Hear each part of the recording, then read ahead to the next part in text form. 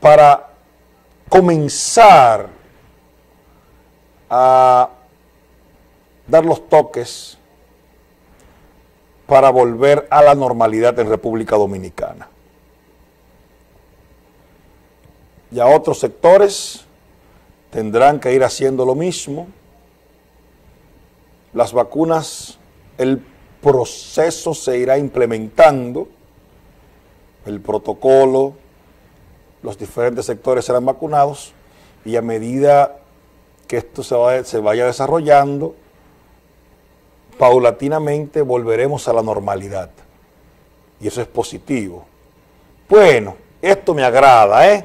El Consejo Nacional de Educación aprobó el regreso a las aulas de forma voluntario gradual, amigas y amigos. Esto es una gran satisfacción. se presentará ya formalmente la próxima semana un cronograma y un calendario para la presencialidad. Amigas y amigos, y esto me conforta, me alegra, porque son pasos importantes para que República Dominicana ya vaya adaptándose y volviendo a la normalidad. Es un proceso, es un proceso que tomará su tiempo, naturalmente, pero estos son pasos significativos que ya se comienzan a dar. Ahora solamente falta la receptividad de esta gran iniciativa de Educa. Por ejemplo, cuando hablamos de Educa estamos hablando del Consejo Nacional de Educación, Consejo Nacional de Educación, que ha aprobado las clases presenciales durante el presente año escolar, amigas y amigos.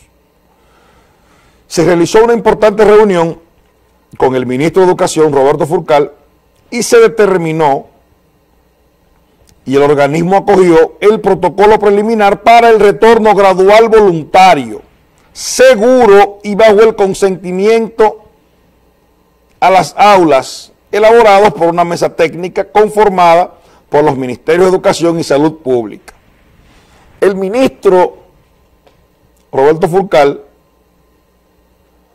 los padres, escuchen esto, esto es importante, los padres deberán firmar un consentimiento para poder incluir a sus hijos en este proceso. Los padres deberán firmar un consentimiento para incluir a los hijos en este proceso de retorno a clases. De igual manera serán incluidas orientaciones por escrito para ser entregadas a la comunidad académica educativa. Dijo el ministro e indicó que el mapeo que se realizará determinará con cuáles centros educativos comenzarán la presencialidad, la gradualidad con las divisiones de los grados por turnos y de la tanda extendida que será una parte presencial y a distancia. Esto forma parte de los protocolos establecidos. También, y esto es importante, se dijo que la semana próxima la misma mesa técnica presentará un calendario y un cronograma para el inicio de la presencialidad, obviamente para comenzar este año. Es un acuerdo con salud pública, un acuerdo con salud pública, amigas y amigos, y el Ministerio de Educación. Es decir, hay todo un cronograma de iniciativas para comenzar las clases en este mismo año. Y se le dará la facultad a los padres para que estos determinen si quieren que los hijos asistan a las escuelas. Una grata, una muy buena noticia.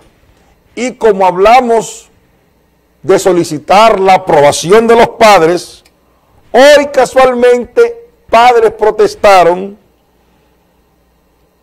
en demanda de la reapertura de las clases presenciales. Es decir, que todos los sectores, todos los sectores